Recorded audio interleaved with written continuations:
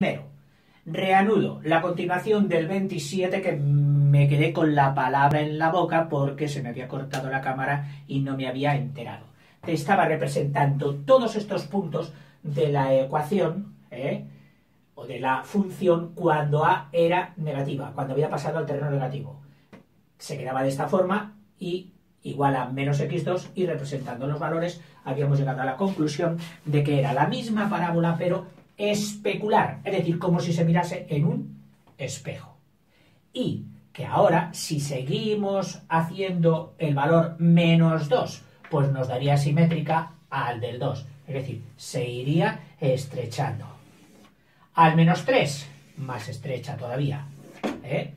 Pasamos del valor 1 a menos que 1, pero sin llegar al 0, es decir, al menos un medio nos saldría más ancha y sería eh, simétrica, que así se llama también, simétrica respecto a este eje, el de las con la del un medio, con esta, con la de un medio, esta con esta, etcétera. ¿Eh? O sea que, si resumimos, ¿qué importancia tiene el A?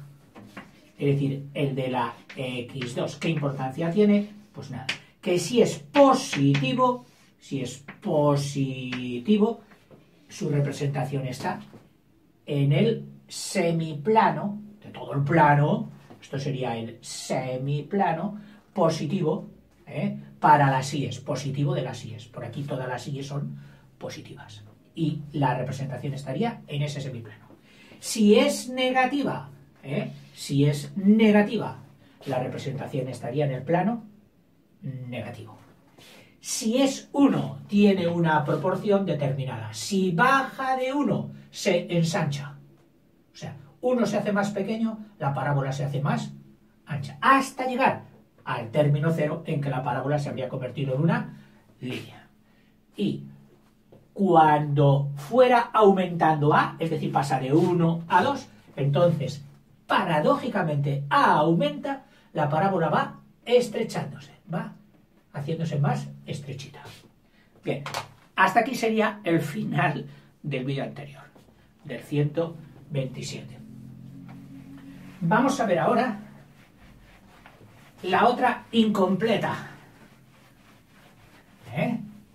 La incompleta que tiene A, que existe, es decir, distinto de cero, B, que existe, distinto de cero, pero la C no. No sé si es mejor coger esta incompleta o coger la incompleta en que B sea cero. Vamos a coger esta última. ¿eh? En que B sea cero. Y entonces, ¿de qué forma se queda si B es cero? Pues se queda la forma así. A, x2 más c igual a i. Bueno, vamos a representarla gráficamente. Claro, si C, o sea, de A ya sabemos cómo funciona y qué es lo que hace la parábola. De C, ¿qué podemos decir? Lo mismo que decíamos del valor de A. O es positivo o es negativo. O es mayor que 1 o es menor que 1. O sea, vamos a examinar esa misma, vamos a seguir esa misma didáctica, esa misma estrategia. ¿eh? Y entonces diremos, si C es igual a 1, ¿eh? va a ser un supuesto, cuando C, o sea, primer supuesto, que C sea igual a 1, segundo supuesto, que C sea igual a 2, tercer supuesto, que C sea igual a menos 1, y cuarto supuesto, que C sea igual a menos 2. Estos cuatro supuestos los vamos a estudiar. Preparamos el cuadro de valores, ¿eh? que será valor de x, valor correspondiente de y. Eh, representamos aquí nuestro, nuestros ejes cartesianos y vamos a ver, según lo que hicimos al principio. ¿Qué pasaría si fuera cero? Es decir, ¿dónde va a cortar aquí la parábola? ¿Cortará? ¿No cortará? Vamos a ver. Claro, tenemos que dar otro valor a A, porque si no, no podríamos representarla. Pues vamos a darlo también el valor de 1. ¿eh? El valor de 1. Que entonces, esta función quedaría así, con sus valores ya del coeficiente, sería 1 por x2, x2, más, como c hemos dicho que valga 1, más 1, igual a i. Y este, este módulo es el que tenemos que aplicar aquí. Este, aquí. Cuando x valga 0, ¿eh? entonces, ¿qué valdrá i? Será 0 al cuadrado, 0 más 1, 1. Y vale 1. Ah, luego i vale 1. Cuando i valga 0, bueno, vamos a, a seguir. Cuando x valga más 1, sería 1 al cuadrado, 1 más 1, 2. Y vale 2. Cuando x valga menos 1, menos 1 al cuadrado, 1 más 1, 2. Y vale 2. Ya nos están saliendo los simétricos. ¿eh? Cuando x valga 2, 2 al cuadrado, 4 más 1, 5. Y vale 5. Cuando x valga menos 2, menos 2 al cuadrado más 4 más 4 más 1, 5. Vale 5. Y vamos al 3 ya, aunque podríamos seguir mucho más, y sería 3 al cuadrado, 9. 9 más 1, 10. 3, este vale 10, y menos 3, menos 3 al cuadrado más 9, más 9 más 1, 10 más 10, igual ahí. O sea, cuando vale menos 3 y también vale 10. Representemos estos puntos. Vamos a coger la unidad más pequeña, que tenemos que llegar hasta el 10. Y sería punto 3, 10. 1, 2, 3. ¿eh? Y 10. 1, 2, 3, 4, 5, 6, 7, 8, 9 y 10.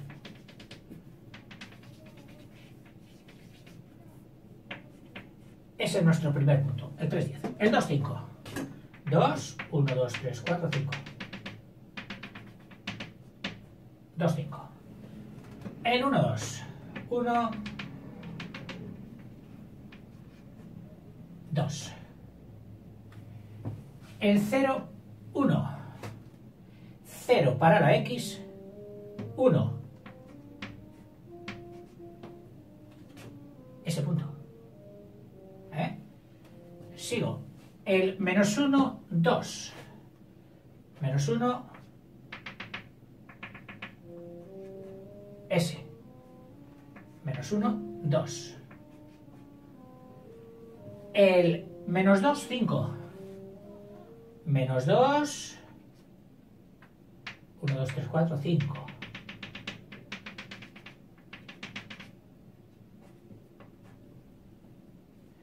El menos 3, 10.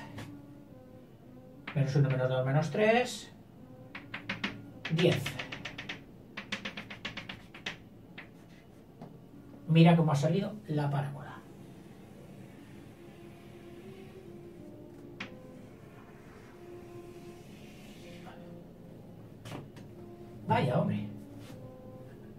Salido levantada.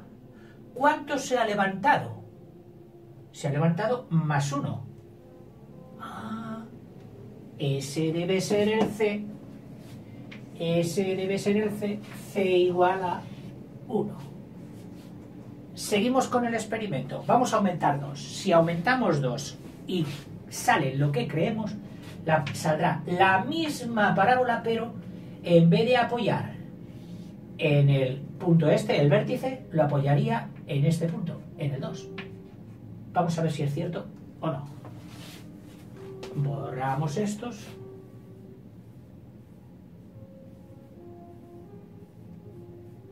Borramos estos. ¿Eh? Y tendríamos para C igual a 2 ¿Cómo quedaría la ecuación de, de experimento ¿eh?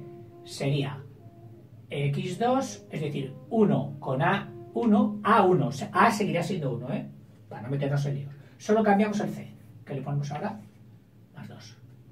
Y tendremos 3, 3 al cuadrado, 9, 9 más 2, 11.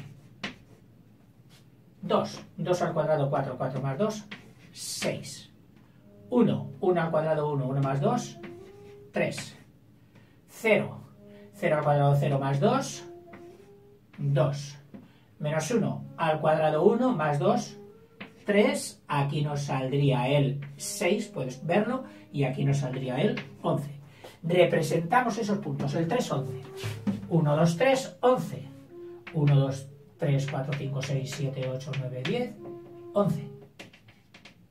Si este es el punto 3, 10, el punto 3, 11 estaría ahí. ¿Eh?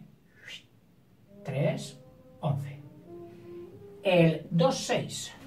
2, este es el 2, 5, y este sería, un poquito más arrimado ahí, el 2, 6. Ahí. Luego viene el 1, 3. 1, 3. ¿Eh? Si unimos estos puntos, te das cuenta que viene así. ¿Y dónde dobla? En el punto 0, 2. 0 más 2. Aquí dobla el vértice. Y ahora serían todos estos mismos, simétricos a todos estos. ¿eh? Simétricos a todos estos que pasarían muy cerquita. ¿Qué hemos logrado? Pues hacer prácticamente la misma parábola, pero ascendida. Vamos, el C es el ascensor. Si el C dice más uno, coges toda la parábola que tuvieras aquí, por ejemplo, y tú la tienes que decir más uno, hacia arriba toda la parábola. Para arriba.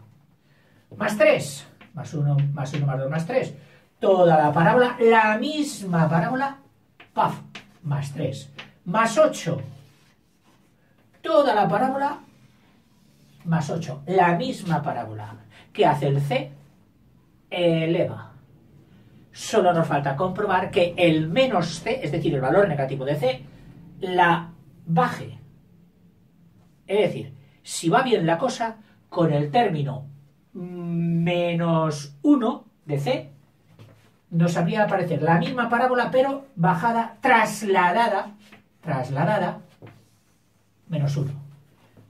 Te hago eh, resaltar que la parábola no cambia, es la misma de ancha, la misma de estrecha. Que lo único que haces, lo único que haces es bajarla o subirla. Es como si esta pieza ¿eh? Yo la tengo aquí y alguien me dice, bájela. Ya está. A ver, ¿esta pieza ha cambiado de forma? No. La he trasladado. ¿Con respecto a qué? Al vector que se me ha dicho. Ha dicho trasladarla respecto a ese vector. ¿Qué significa? Que el punto que estuviera ahí, ¿eh? ahora tiene que estar ahí. ¿Eh? Y si dice, trasládele con este otro vector, vector más 2, pues si estaba aquí, ¿eh? y ahora tiene que trasladarse con ese vector subiría pues ahí. O sea que es la misma pieza, la misma parábola, pero para arriba o para abajo. Eso es lo que hace el C. Vamos a verificar, vamos a verificar que eh, con C menos 1, a ver dónde se nos va. ¿eh? Con C menos 1. Al A no le cambiamos, ¿eh? el A sigue siendo 1. O sea, estamos experimentando con el C, no con el A. Con el A ya vimos lo que pasaba. ¿Eh? Estamos con el C. Si C es menos 1, aquí tengo que poner menos 1. Y tengo A1, 1 por x2, x2, menos C, o sea, menos 1, menos 1, igual ahí. Valores. Cuando x valga 3, 3 al cuadrado 9, 9 menos 1, 8. Esto es 8 y vale 8. 2 al cuadrado, 4. 4 menos 1, 3. Y vale 3. 1 al cuadrado, 1. Menos 1, 0. Y vale 0. 0. 0 al cuadrado, 0. Menos 1, menos 1. Y vale menos 1. Menos 1. menos 1 al cuadrado, 1, 1 menos 1, 0. ¿Eh? Menos 2, menos 2 al cuadrado, 4, 4 menos 1, 3. Positivos, 3 igual ahí. ¿Eh? Fíjate que se va repitiendo ya los simétricos. ¿Cuál será el siguiente? Tiene que ser el 8. ¿Seguro? Vamos a ver. Menos 3 al cuadrado más 9. Más 9 menos 1, menos, eh, 8 positivos. 8 positivos. Representamos gráficamente esos puntos. ¿eh? Y decimos, el 3, 8. 1, 2, 3, 8. 1, 2, 3, 4, 5, 6, 7, 8. Ahí. ¿Eh? El 2, 3. 1, 2, 3. Ahí. El 1, 0. 1 para X, 0 para Y. El 0 menos 1. 0 para X, 0. Menos 1 para Y.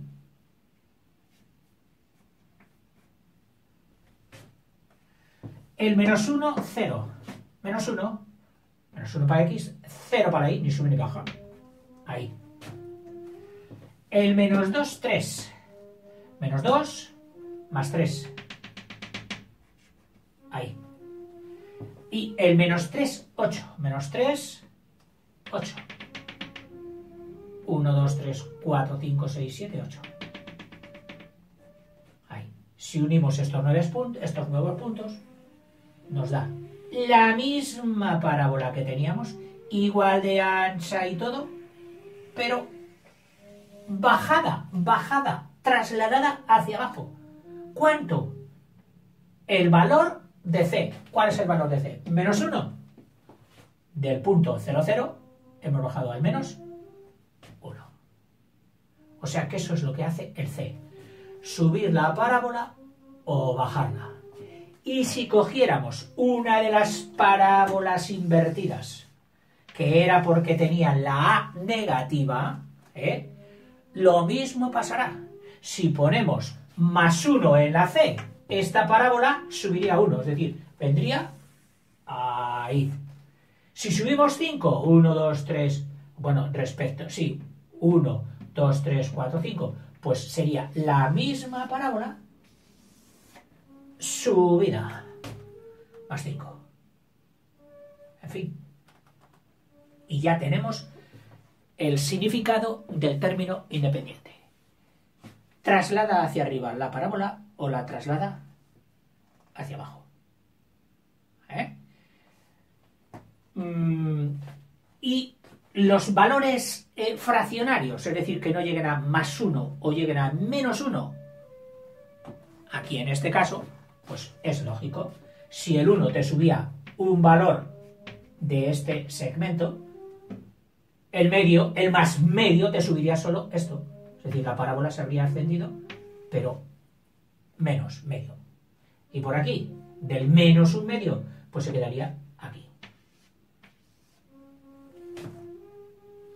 En fin, este vídeo nos ha salido algo más cortito. Supongo que lo agradecerás. Nos queda experimentar con el término B, el de la X. Le iremos dando valores y a ver qué sale. Venga, hasta luego.